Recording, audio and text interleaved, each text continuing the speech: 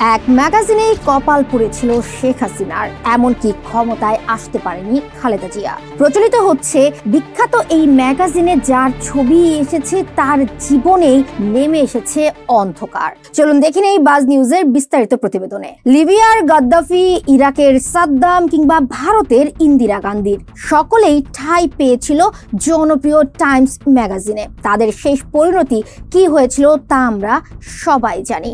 দু হাজার তেইশ সালে নভেম্বরে হার্ট পাওয়ার শিরোনামে আসে শেখ হাসিনার প্রতিবেদন। ঠিক আট মাসের মাথায় ছাড়তে হয় ক্ষমতা। দু হাজার ছয় সালে বাংলাদেশের আরেক প্রাক্তন প্রধানমন্ত্রী খালেদা জিয়াকে নিয়ে করা হয় এক প্রতিবেদন। আর তারপর থেকে ওনার জীবনের উপর দিয়ে যায় একের পর এক ঝড় যা এখনও চলমান। যেখানে টাইমস ম্যাগাজিনের কাভারে স্থান পাওয়া অনেকের কাছে স্বপ্ন, সেখানে রহস্যময় এই অভিশাপের কাকতালীয় ঘটনা জন্ম দিয়েছে নতুন এক ধারণার।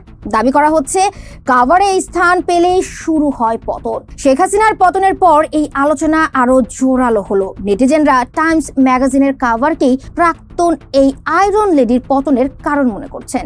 দর্শক দেখছিলেন বাজ নিউজ, ধন্যবাদ।